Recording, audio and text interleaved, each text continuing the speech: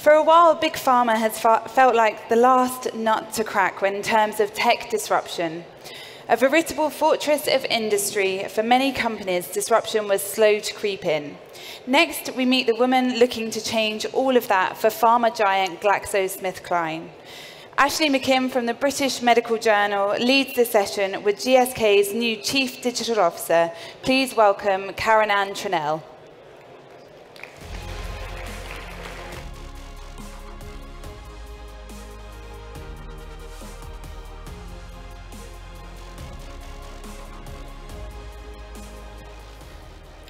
So, Kat, welcome to the HealthConf stage. Thank, Thank you. you for joining us. Uh, we've only got 15 minutes, so we're going to be uh, as quick as possible getting straight into the discussion. We'll take some questions from the audience as well, hopefully, so do put this up in Slido. Um, let's kick off with your journey to GSK. You've been there for a little while, but tell us how you got there and your path to the, the role you're in. Uh, for people who are trying to track how you become the chief digital officer of a pharmaceutical company, don't take notes.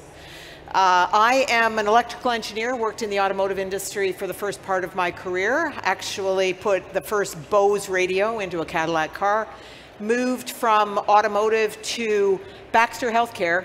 That was my first experience in pharmaceuticals, uh, where we did a global supply chain play, and then moved to Walmart.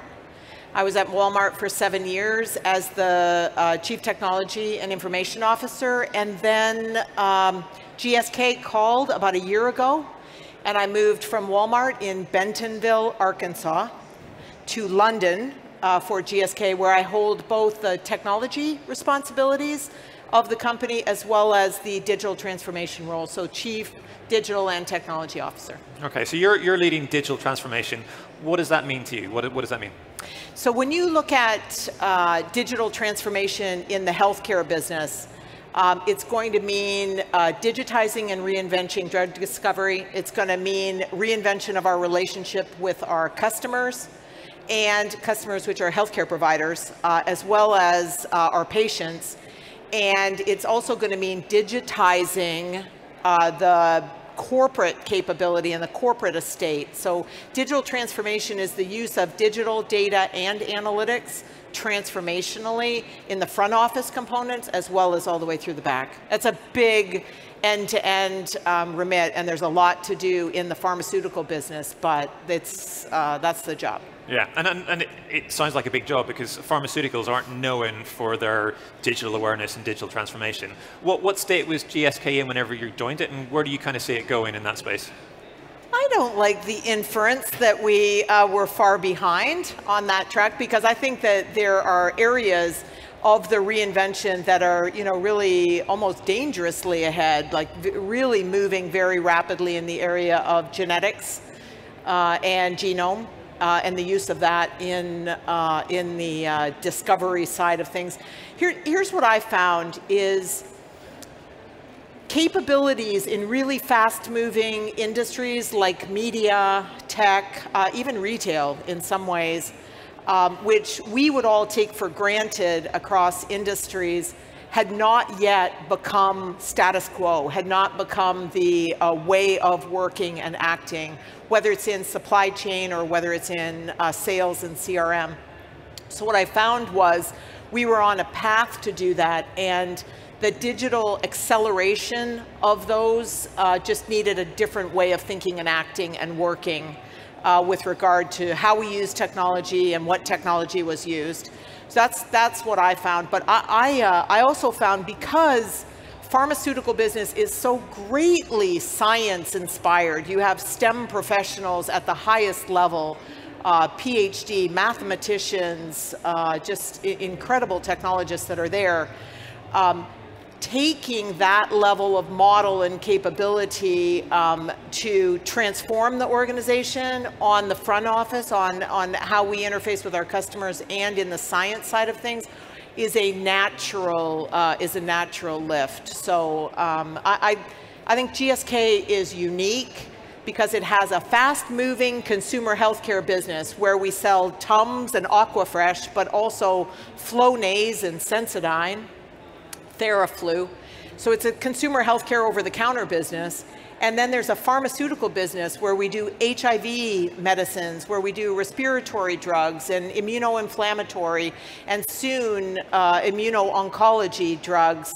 And right in the middle is this thing called vaccines, which looks like a consumer healthcare business, but is actually prescribed. And so when you have both of those, we start from a further forward presence because we already know what the speed of disruption is on the digital side because of the consumer healthcare business. Okay.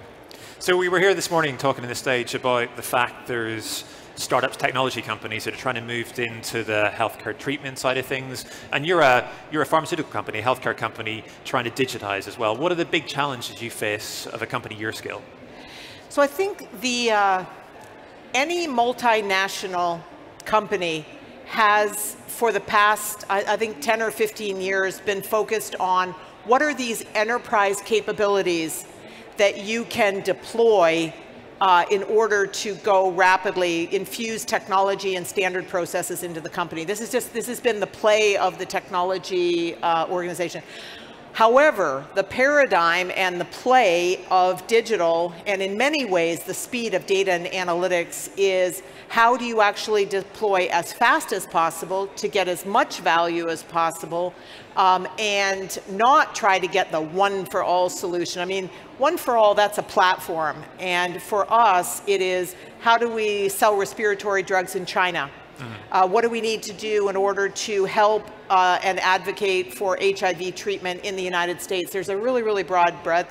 So I think that the big uh, change is to be much more, I hate, I hate the word agile because um, it, it, gets overused on what it is, but I think that you have to be much more focused on um, short-term time to market and value, and you have to have the ability to um, fail. You have to say that there are things that we're going to do that are not going to work. They are. When in the old model, um, end to end, if you spend 18 months doing something and it failed, well, they got a new CIO. So that end-to-end uh, thinking has to break down into um, how do we get value now and how do we change that, and that's a that's a big culture change. Mm -hmm. And that, that that culture change, I think, is really important, and maybe we can talk more about that because any any organization that tries to go in digital transformation, that's a huge shift in culture. Yeah. And I think there's lots of companies here, lots of organizations here that are starting on that journey. What's your advice for people to try and change that culture as far as digital transformation? So in the 12-step program, the first step is, I know I have a problem. I think the first thing that you have to do as you are looking on changing and adopting and using uh, digital tactics, digital technology, and digital ecosystem and partners uh, is that you, in recognizing the problem that you have, you've got to name it. Uh, you have to actually say, this is what our culture enables and doesn't enable uh, with regard to speed, with regard to diversity and different type of talent that you need in the technology area, in the marketing area, in, in all of these types of things. So I, I think um, you, have got, you've got to recognize where the issue um, is within your own culture. And by the way, the barriers that existed to digitizing Walmart were not remotely like uh, the challenges that I faced at GSK or the ones that you're seeing today in the automotive industry because different disruptors, um, different barriers to entry in the business, and uh, a just a different speed at which the consumer, for us, we don't call them consumers, we call them patients, uh, different different type of expectations uh, that you have. So I, I, think on the on the culture side of things, you've got to really recognize where um, things are getting stopped up, and you you cannot think in culture.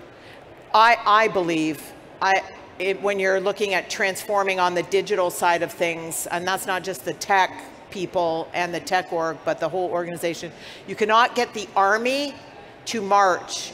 You must know which areas will have the most value and focus on the culture there. This is the thing about uh, Emma Walmsley at GSK. She was really clear where the value of a digital enterprise would first emerge, and she prioritized and focused on that, and that's you know, that's why I came to GSK. Mm -hmm. Mm-hmm. Okay, very good. We'll, we'll, we'll come on to some of the questions in a second, but let me just ask you first of all, there's lots of uh, health tech companies here. Uh, GSK's got a huge number of brands, both in the consumer space. You've got all the pharmaceuticals as Yeah. well. What's your advice for people who want to work with big multinationals like you? What's your advice about how do they engage? Yeah, I, as I've been uh, as I've been walking through the last couple days, I've been asking the question: How easy is GSK to work with? Uh, I don't like the answer.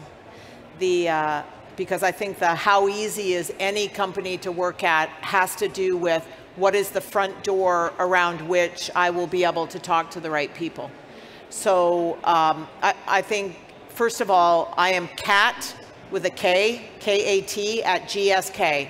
It's got to be, if uh, maybe I should have just called myself K at GSK in order to be able to find me. I am Cat at GSK, and uh, the front door is open, uh, not just for me, but for my team and for the procurement organization, because procurement can be a, a huge barrier. Big tech can also be a barrier to small tech. So I, I think the first thing is that you have to change uh, the door that people believe is open in order to come in.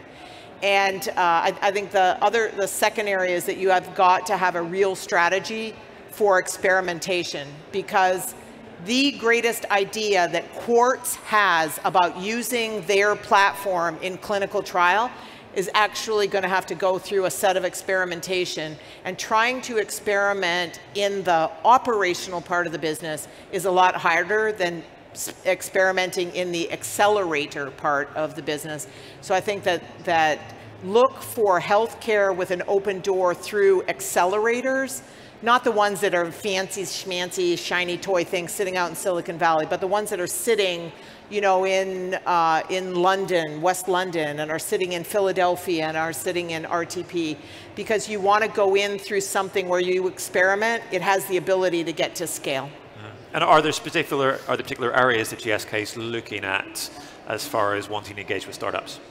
So I, I think two areas that are critically important, digital therapeutics as they come through our consumer healthcare business, whether they be computational neuroscience around smoking, around weight reduction, because we're in those businesses, you know, connected devices, connected toothpaste, connected toothpaste, connected digital therapeutics through the consumer side of things and the, and the digital innovation hub that's run by Mark Spikert, who came from Google, inside of our business is one such area. And I think the second one is uh, you've seen huge splashy announcements of GSK and 23andMe. There is a very intentional focus on genetic genomic disruption of the, uh, of the discovery part of our business. Those are two areas where we uh, actively are seeking, uh, and there is like a huge open door swinging both ways through the startup community, through large tech, uh, in our ecosystem partnerships, as well as through GSK. Well, I've, I've enough trouble trying to use my Bluetooth electronic toothbrush, never mind connected toothpaste as well. Um, so hopefully we don't go there. Let's take a couple of questions. So uh, maybe the one that uh, is quite interesting is trying to combat those counterfeit medications and using digital technology to do that. And I know there's a lot of pharmaceutical companies looking at that. Yep. Uh, what's GSK doing to try and, and do that? So on misinformation, Misinformation and also uh, counterfeit pharmaceuticals as well. Yeah. So I, I think the, um, I, I was interested in the board that's out here when you walk out on whether fake news is going to be solved by tech, yes or no, and, and in, and we're very unoptimistic that tech is going to solve that problem. So I, I think the, um, the role, uh, the role around, ah, yeah, where you're asking me about uh, anti uh, you know, fake drugs. Tech better solve the problem in fake drugs. Uh, blockchain may not be the answer. Serialization is definitely a part of the answer, and that is a technical problem that needs to be solved um, on whether a drug's provenance, beginning to end, uh, can be tracked and managed, uh, because the law is going to make it so. Uh, so uh, that is that's not how good are your logistics people. That has to do with how good is your technology and logistics. Definitely. And on the misinformation side, so there's been lots of uh, misinformation around everything from vaccines to medication. Yeah. Is there a role for, for pharmaceuticals in that? And what's the, what's the digital future for that? So I, you know, I, I was uh, I was in uh, I was in California a couple of weeks ago where we were talking about um, the how does anti-vax you know, uh, vaccines uh, cause autism, those types of things. Please do not retweet that. It's a complete fake news. Is how, uh, what is our role uh, in that? And our role is to stream light through the science um, and directly um, into the web. That, as most of you know, the anti-vax and the fake news around pharmaceuticals that are there um, often are uh, bot inspired. They actually come from bots and they come from a very small number of people who have a very specific agenda. And I, I, would just tell you, just like fake news is very, very hard to counteract, I think that this is gonna, this is gonna be um, just job security for a lot of people for a long time. Mm. So one of the questions is about your role in having a chief CDO in a company like yourself. How important is that in sort of a leadership perspective? Do you think, do you think all companies should have that in the, the healthcare and pharmaceutical space? So I, I would tell you, um, there are many companies where you're starting to see chief digital officers, and maybe there are some in the room here, and if I offend you, it's unintentional, the, uh, that have chief digital officers uh, and CIOs.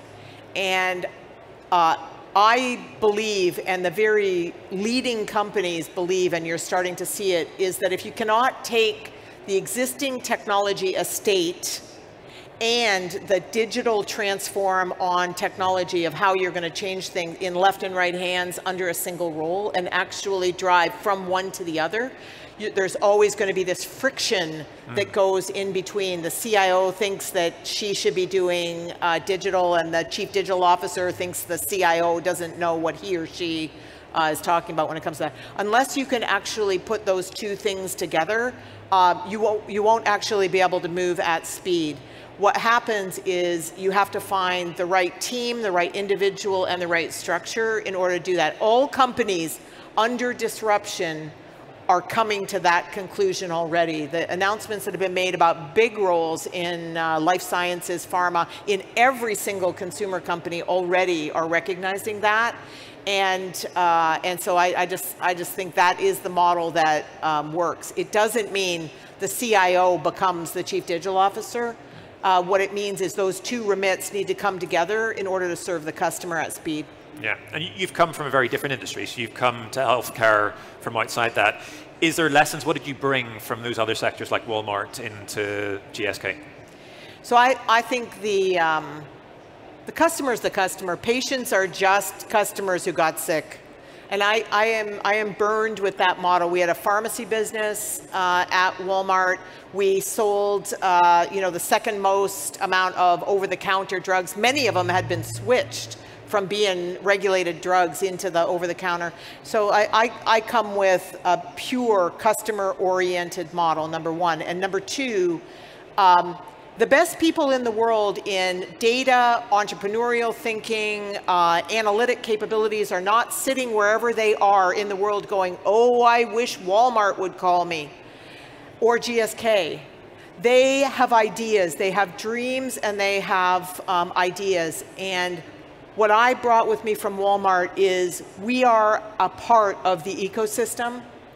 We need to behave like that instead of we are the client and you are the uh, and you know we are we are the buyers and you are the sellers, and that shift is one that allows you to um, fail within a lot of really successful, it's not in, in, a lot of really successful ways and interesting ways. It's not a, a bilateral relationship with big tech company X and big pharmaceutical Y. It is about an ecosystem of strategic players who have an interdependence. It's very hard to manage that, but it is very worth it. Wonderful. So we're nearly out of time. Just one final question is one final piece of advice you might have for people out there around what they should be doing in the health tech space, looking at the future, how they can work with you. Any last piece of advice for people in the audience? So, so I think um, if, if, you're in any part of the healthcare spectrum end to end, uh, really, really understand this is a value chain of how things work and it's not a company controlled ecosystem. It's not a one place uh, of all work across the value chain, go in uh, to hospitals, go into pharmaceutical companies, choose ones that are using digital concepts uh, and not just did a lot of digital language. That would be one. And I think the, can I just say personally, I'm Cat with a K at GSK. The door is open, it swings wide that way. And I think that you've got to find the cats with a K at fill in the blank company where the door is open. Hopefully you can make that in connections here. But um, keep trying because a lot of the best ideas are actually in the heads and in the hands of people who are practitioners out on the floor um, who have a dream themselves. That's my advice. Wonderful. Well, thank you, Kat at GSK. Um, thank you for being with us. We've got a couple more sessions left. Um, please put your hands together for Kat. Thank you. All right, thank you. That's awesome. Great.